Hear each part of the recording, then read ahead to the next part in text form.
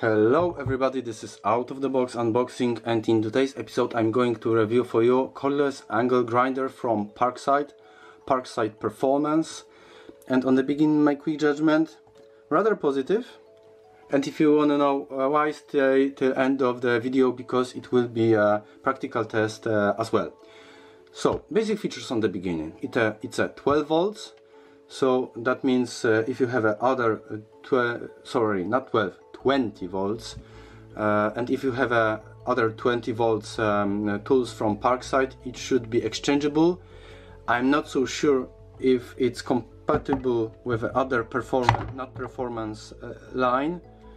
Uh, I need to double check it.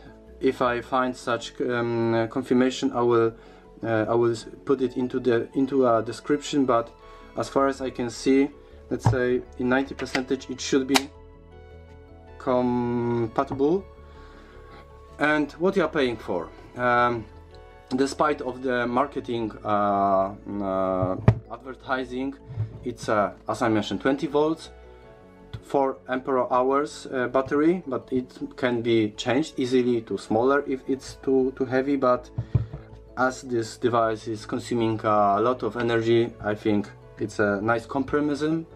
Rotation speed, it's a 10,000 RPMs. In my opinion, not so great value. Uh, in terms of cordless de devices, it might be uh, quite good um, uh, result, but compared to other cord uh, traditional tools, uh, it's it's beyond, not beyond, um, below, uh, below what what you can what you can have, what you can have.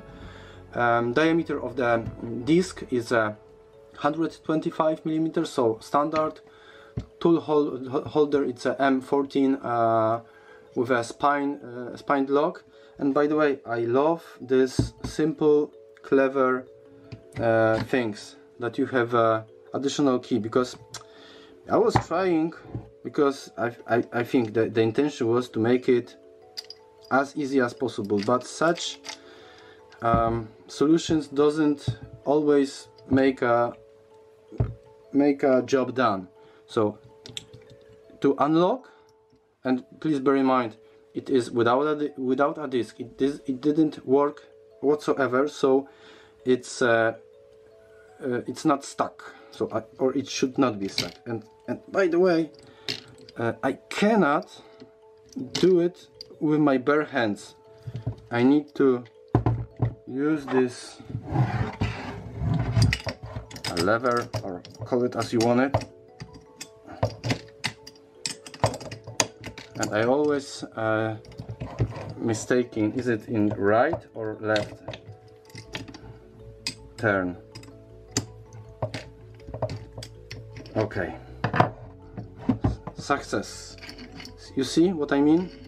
So better to have it because I don't believe you will be able to to to unscrew it with your bare hands uh, on spot. But as this handle you have uh, all the time with you. Sorry. Not so not so easy in this in this way. What's wrong? Okay.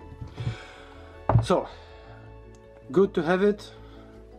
Um, what else? As a package you don't get any uh, any disc whatsoever so you need to have your own one but uh, as it's let's say performance so I would say for for pros you should have your equipment uh, uh, with you.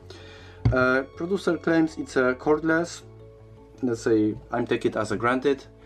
And really the, the quality how it's made seems decent. But what's what's worrying me it's a production date. Please take a look. Um, and production date you have here.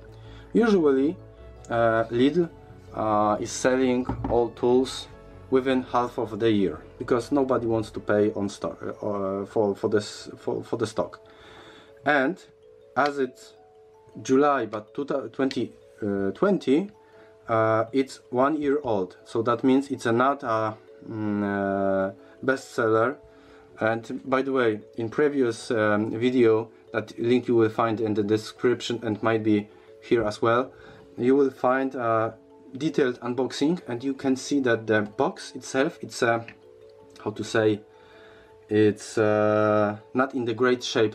Uh, so that means it was uh, from one uh, taken from one shop to another. It was uh, part of the I think uh, previous sales.